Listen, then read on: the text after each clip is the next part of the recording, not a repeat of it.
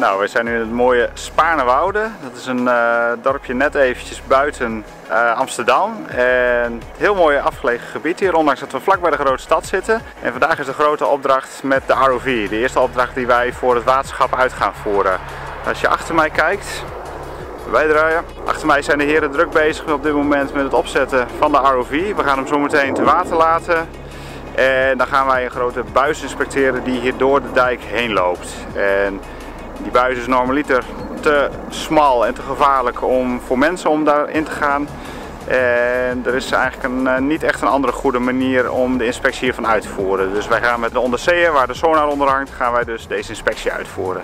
Het is een zonnige dag vandaag, dus wij hebben er zin in. kijk even met me mee.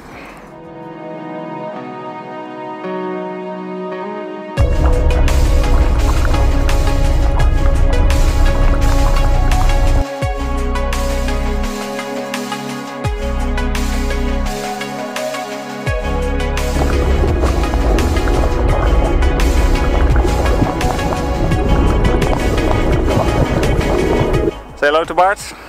Hi. So, what are we doing now? Uh, we are conducting an experiment in the culvert with the sonar. If you uh, see at the back, uh, you can see the, it's called the culvert. Yeah. Yeah. In the back you can see the culvert. We just uh, dropped the drone into the culvert and we're now going to move into the pipe with the sonar to see if the walls and the ceiling are uh, still intact. So this pipe is really old. It's built in the 18th century and it's probably never been uh, never been yeah. inspected. This entire area we're standing on, it has to overflow in case of a storm. And they want us to check if the culvert can hold up to the force of the water.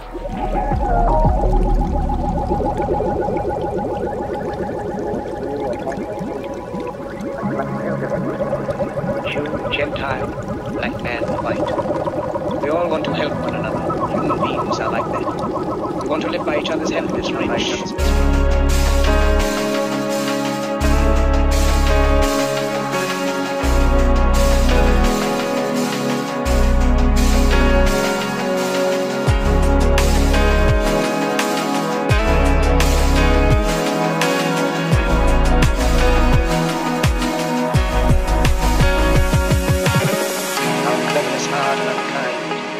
think too much, feel too little.